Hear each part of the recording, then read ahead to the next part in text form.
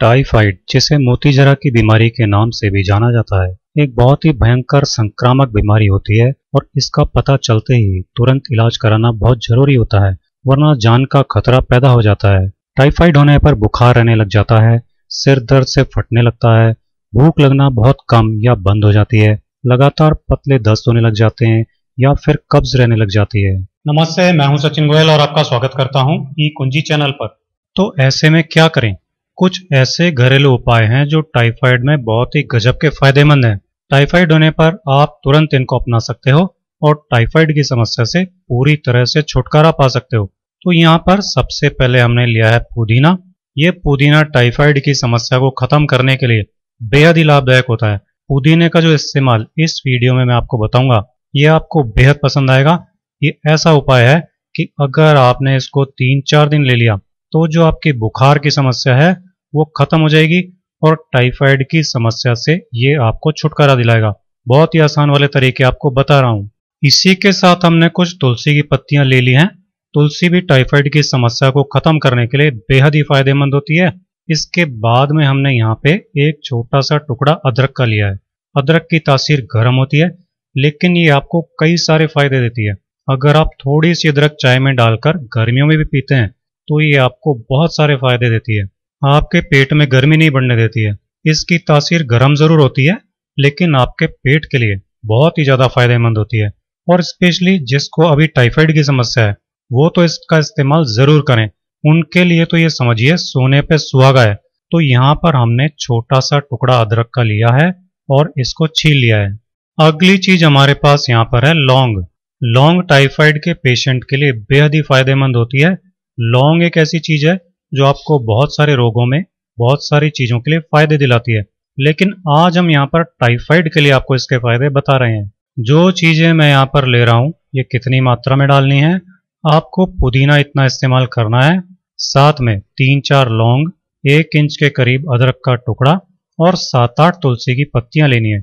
बस इतनी मात्रा काफ़ी है इन चीज़ों की।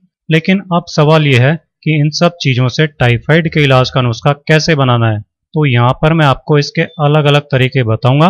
टाइफाइड एक ऐसी समस्या होती है कि एक बार होने के बाद अगर इसका थोड़ा बहुत भी कुछ आपके शरीर में रह जाता है तो ये फिर से आपको परेशान करता है। इसलिए जब भी आपको ये सता रहा हो या अभी आपको शुरू ही हुआ हो तो आप खाने पीने का और साफ़ सफ़ाई का बहुत ध्यान रखें। आपको ये दोबारा कभी ज़िंदगी में होगा ही नहीं, क्योंकि जो ये बार बार होता है ना, ये हमारी ही लापरवाही के कारण होता है। आप कुछ भी ठंडा गर्म खा लेते हैं और फिर ये समस्या बाद में भी परेशान करती है। तो अब मैंने जो आपको यहाँ पर चीज़ें दिखाई हैं, इनका इस्तेमाल करना बता देता हूँ। सबसे पहले हम पुदीना के साथ में यहाँ पे इसके लिए बनाकर तैयार करेंगे। तो सबसे पहले आप चाय के पतीले में एक बड़ा कप पानी डाल दें। कप अगर छोटा है तो डेढ़ कप पानी डाल लें और पानी को गर्म होने के लिए रख दें। जब पानी के अंदर इस तरह से उबाल आ जाएगा तो जो पुदीना की पत्तियाँ ली थी आपने गिनकर 20 पत्ती लें पुदीना की पंद्रह पीस पत्ती काफ़ी है एक बार के इस्तेमाल के लिए, लेकिन इस्तेमाल से पहले पुदीने की पत्तियों को तीन चार बार पानी से अच्छी तरह से धोकर साफ़ करें, क्योंकि टाइफाइड एक ऐसी समस्या है जिसमें आपको साफ़ सफ़ाई का पूरा ध्यान रखना है। आप ऐसे ही कुछ भी कच्चा या पक्का उठाकर नहीं खा सकते हो। अच्छे से खाना पकाकर खाएँ, हाथ धोकर साफ़ सुथरे हाथों से खाएँ, पिए। आपको इन सब चीज़ों का ध्यान रखना होता है। तो साथ में जो अदरक हमने ली थी एक इंच का छोटा सा अदरक का टुकड़ा आपको ग्रेट करके, कद्दूकस करके यहाँ पर डाल देना है। बहुत ज़्यादा अदरक आपको नहीं डालनी है। बस इनको डालने के बाद में अब आपको क्या करना है? जैसे ही इसके अंदर उबाल आने लगेगा तो इसको अच्छे से चम्मच से चला दें और गैस का फ्लेम कम कर दें। इसको आप कम से कम चार पाँच मिनट तक धीमी आँच पर पकने दें, जिससे कि पुदीने की पत्तियों का अदरक का जो सत्व है, रस है, वो पूरा पानी के अंदर आ जाए। आप इसे इतना पका लें कि पानी आधा रह जाए। तो यहाँ पर इसको अच्छे से पका लिया है।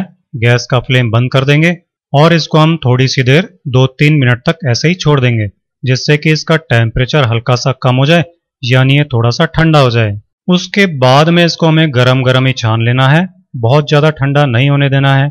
एकदम ठंडा नहीं करना है। बस थोड़ा सा इसका टेम्परेचर कम हो जाए, तब छान लेना है। जितनी चाय आप एक बार में लेते हैं, इतना सही रह गया है। तो एक तो पीने के लिए ये बनकर तैयार हो गया है। इसमें और कुछ भी डालने की ज़रूरत नहीं है। लेकिन अगर आपको मीठा डालना हो तो आप इसमें एक चम्मच शहद मिक्स कर सकते हो। शहद भी टाइफाइड के पेशेंट के लिए बेहतरीन होता है। बहुत ज़्यादा फ़ायदे देता है टाइफाइड के पेशेंट को। रोज़ाना एक गिलास हल्के गर्म पानी में शहद ज़रूर लेना चाहिए। पुदीने के इस नुस्खे को आप सुबह सुबह जैसे चाय पीते हैं, उस समय बनाकर ले लें। अब जिनके पास आसानी से पुदीना नहीं मिलता है, वो तुलसी की पाँच पत्ती ले लें। और एक छोटा सा अदरक का टुकड़ा ले लें। उसको पानी में बॉईल करके शहद मिक्स करना चाहें तो कर सकते हो, उसको पी सकते हो। अगर किसी के पास बाई चांस तुलसी भी नहीं है तो लौंग सभी के घरों में मिल जाएगी, आसानी से मिल जाती है। तो आप तुलसी और अदरक की जगह पर सिर्फ़ चार लौंग ले लें और आठ गिलास पानी ले लें। आठ गिलास पानी लेना है आपको और चार लौंग डालकर इस पानी को आप पाँच मिनट तक बॉईल होने दें, अच्छे से खोलने दें। और उसके बाद में उस पानी को आप रखकर ठंडा कर लें। मतलब नॉर्मल टेम्परेचर का कर लेना है। ये ध्यान रखें फ्रिज की जो चीज़ें होती हैं, वो तो आपको महीने, डेढ़ महीने तक खानी ही नहीं है। क्योंकि टाइफाइड में अगर फ्रिज की चीज़ें खाएँगे तो आगे चलकर आपको बहुत समस्या हो जाएगी। आपकी छाती दुखेगी, कफ जमा हो जाएगा, खांसी और दमा की समस्या हो सकती है। तो इन सब चीज़ों का बिल्कुल ध्यान रखें। अब जो लौंग का पानी आप बनाकर तैयार करेंगे, उसको आपको एक बार में नहीं पीना है। दिन भर में आप थोड़ा थोड़ा एक एक कप करके जब भी पानी पियेंगे तो वो लौंग वाला पानी ही पिए। और अगर लौंग का पानी नहीं पी रहे हैं तो नॉर्मल जो पीने का पानी होता है, उसको हमेशा बॉईल करके पिए। ठंडा पानी या बिना बॉईल किया हुआ पानी बिल्कुल भी ना पिए। वो टाइफाइड के पेशेंट के लिए सही नहीं है। अगर रोज़ाना संभव हो तो एक गिलास गुनगुने पानी में एक चम्मच इस तरीके से शहद डाल के अच्छे से मिक्स करें। और दिन में सिर्फ़ एक बार ले लें आप। आपके लिए ये बेहतरीन होता है। शहद जो होता है, बेहद ही फ़ायदे देने वाला होता है।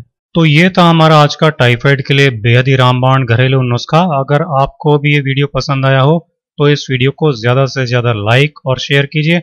आपसे अगले वीडियो में फिर मुलाकात होगी।